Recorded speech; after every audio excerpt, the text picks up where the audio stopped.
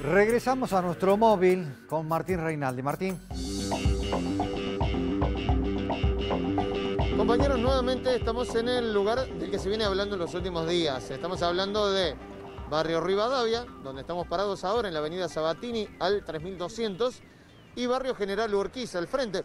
Es más, ustedes están viendo al frente a mis espaldas, uno de los lugares que ha quedado dentro del cerco perimetral de este cordón sanitario, ampliado ahora hacia la zona de Barrio General Urquiza, los conocidos monobloc de estadio, ubicados al lado del centro comercial El Hiper Libertad.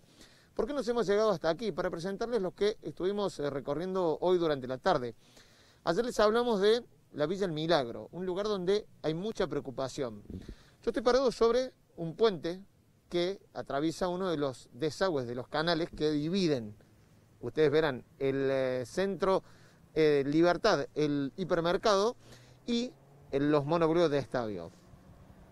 Abajo de este lugar, prácticamente a partir de aquí y hacia mi izquierda, abajo de Barrio Rivadavia, un lugar que ahora van a ver en total oscuridad, está la Villa del Milagro, un lugar donde viven 180 familias. 180 familias que dicen, estamos olvidados de todo, no existimos. Si ustedes nos buscan en los mapas de catastro, detrás de esos árboles que ahora ven en oscuridad total y al fondo de la ciudad, abajo de esto está la Villa El Milagro.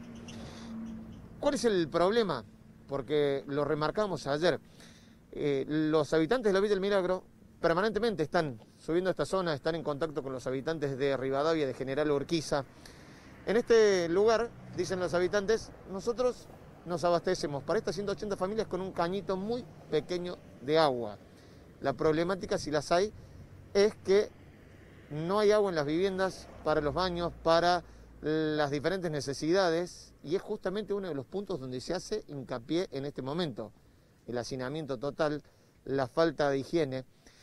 Es un lugar que está sobre las vías del ferrocarril, o sea que es un terreno fiscal de la nación. Por ende, cuando piden una asistencia a la provincia o a la municipalidad, están imposibilitados porque es un terreno que tiene, donde tiene que dar el visto bueno los ferrocarriles argentinos.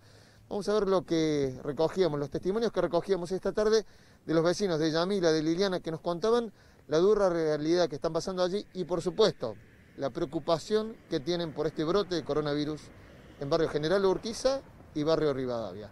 Esto nos contaban los vecinos. Estamos eh, nosotros estamos acá en Villa El Milagro, de Avenida Sabatini, o sea, bajamos para abajo y ya es Villa El Milagro. Estamos a un paso del barrio Rivadavia, a dos cuadras realmente y este es todo un hacinamiento, un terreno fiscal. Estamos en el corazón de la Villa El Milagro. Aquí, a pocos metros de las vías, viven cerca de 180 familias que están a dos cuadras y muy cerquita del último brote que se dio en barrio Rivadavia y barrio General Urquiza. Tienen mucha preocupación porque en este lugar prácticamente no hay agua. Hay miedo porque la mayoría de la gente sube al Hiper Libertad, que es el paso, digamos, más comercial que hay acá, subimos y nos cruzamos con todos los vecinos de, lo, de arriba.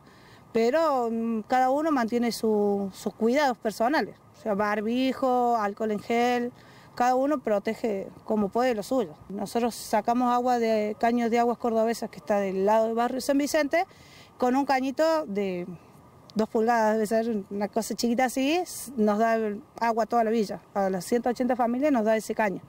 En verano no hay agua directamente. Nosotros les pedimos si nos podían dejar un caño abierto para nosotros poder sacar agua. Entonces ellos de acá, cuando iban cerrando, nos, abrieron un caño directamente para nosotros, pero del mismo tamaño que está ahí el verde. O sea que de un cañito así, ¿cuántas familias sacan agua? 180 familias en la villa.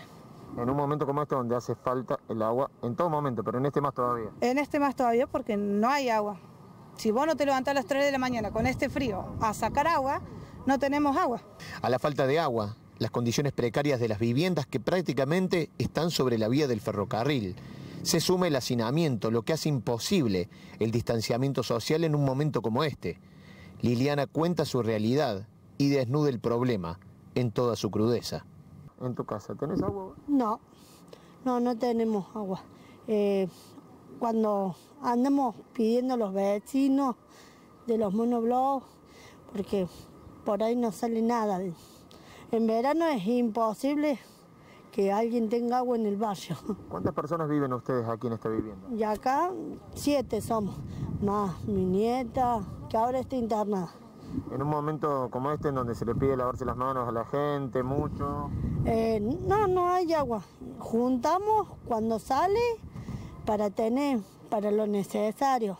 Esa imagen se repite en muchas de las casas, Amila, ¿no? Sí, la verdad es que sí, porque la gente acá, eh, todos usamos, la mayoría usamos tachos para rellenar y para tener para las cosas diarias, para lavarse las caras, las manos, todos usamos tachos. No hay gente que tenga tanque, la, o si hay tanque, la presión que viene del mismo cañito chiquito no sube hasta arriba. Entonces queda vacía. Nosotros hemos ido a todos lados a reclamar y nadie tiene una respuesta para darnos, porque como esto es un terreno fiscal, nadie se puede meter porque esto pertenece a Nación. Entonces nosotros no tenemos agua, no hay luz, o sea, la luz que nosotros teníamos era todos colgados de cables. O sea, nosotros nos colgábamos de PEC por tener luz, pero si no, no tenés luz, no tenés agua, no tenés nada acá. Y nosotros no existimos.